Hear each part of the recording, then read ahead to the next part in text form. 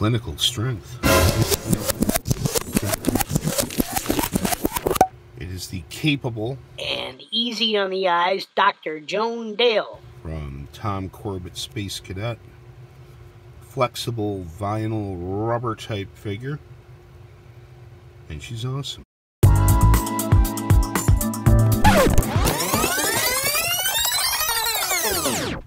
Marx Toys Robot Rex Mars Space Female. And what's significant about them is that they don't have bases. Yeah, wasabi. Marx Toys. Tom Corbett Rex Mars. Mousy Alien with no base. Make the prestige reveal. There's Freddie Mercury with his microphone. Yada yada yada! Awesome. And a uh, seated driver for the uh, Marx Tom Corbett space car, which I do not have, but we always look for seated pilot figures, and he's fantastic. Uh, looks like here we are teaching a course at the Space Academy with his notes. There, I like the medallion. Ladder climber. Don't have a ladder. We'll have fun finding other things for him to climb on. What, Raquel Welch? These are all in a in a rubber, rubber or vinyl. The figure sculpting on this line is different, very unique, even for Marx.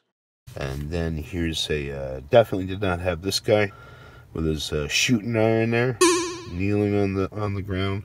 Gathering up pieces of the Roswell wreckage. Awesome. And this was the piece de resistance. It's the crawling alien with the ray gun. A little bit discolored, but dude, he's the hardest of the. Marx Toys aliens from this era to score because he was only included in the uh, Tom Corbett sets. The other aliens were all carried over to the Rex Mars group, and many, many more of them were made. Excuse to get out the whole stash of these Tom Corbett figures. The blue ones are as reissued with the Rex Mars sets. And if my understanding is correct, the gray rubber and vinyl ones were the original Tom Corbett's from 1952 and 1953. The soft gray plastic ones were made somewhat later. And I've actually got a mixture of both here. The one on the left is soft plastic. The one on the right is rubber. Uh, same deal here with the uh, with the pilot or driver figures. One on the left is rubber. The one on the right soft plastic. this acquisition has has made me reassess just how special this uh, this line is. I believe both of those two are rubber. And we got the guy back here giving Thistle some helpful tints on how to climb that there rock face. The mousy figure is soft plastic, and then the new arrival of the blue vinyl without his base is a Rex Mars issuing. My understanding is correct.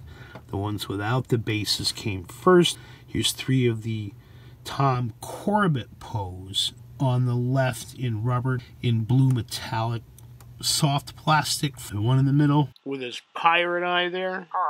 and soft plastic. The two females are both soft rubber, one a darker gray, and of course Freddie Mercury back there. Freddie, Roger, and Brian. Now, this guy, I'm not, I'm not sure what he's supposed to be doing, but it's, it's interesting that he's sitting up. That's fantastic. And of course, the alien, the hardest one of the set to score. And the boy gets a cigar. And the line, you know, it, it doesn't have the sexiness of the Rex Mars series with the helmets, but the sculpting is is, is more character oriented. which makes sense since they were based on licensed show characters. The Rex Mars line was a generic creation by Marx Toys, made after the licensing for the show had run out.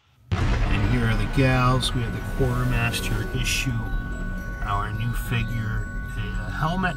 All four in the back are vinyl, And the one in the front here is a soft plastic. And I like to pair her with this Crescent Kellogg's and make the joke that they met at the library. and our robot friends here. I love this robot. I used to have a problem with robots. My favorite show when I was seven years old was The Six Million Dollar Man, and John Saxon came out there as the robot. And he almost cleaned the Six Million Dollar Man's clock. So, as a kid, I was never really fond of robots. Things go wrong with them. But I like this guy. I love the uh, the hose on his head. I love the gearbox. Our new arrival there in the front without a base was probably 1954. And unless I be mistaken, uh, both of the green figures Giant Martian Landing, either 1972 or 1977. I like to think that they were manufactured in 72 and it all just sat in the heat while the Marx sale took place. Louis Marx definitely had a, a, hand in creating the giant Martian landing playset, and he may have held out on saying, no, you're going to have some little green men in there, little aliens for the kids to interact with. And then lastly, the happy mousy guy. Oh, he's so happy. Actually, I do get some menace out of the figure.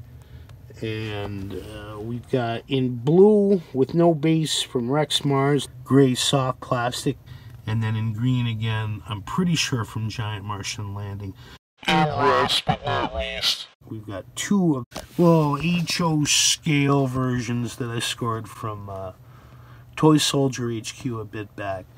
Not made by Marx, produced in Hong Kong during the 1960s, probably with train sets in mind. So it's Friday night. We're going to end on a high note by fixing them all up with a date. This gal over here is going with a Remco astronaut. She likes the strong, silent type. This lady here is dating a poplar cop. Pops are always popular, huh? MPC Geiger counter guy talked this gal into going to evaluate wreckage from the Roswell crash. This guy gets to go out with both of the twins, but he's already looking pretty shagged out. Wish him luck. Then the new gal's going out with the robot after she realized she can pre-program to enjoy vegan food.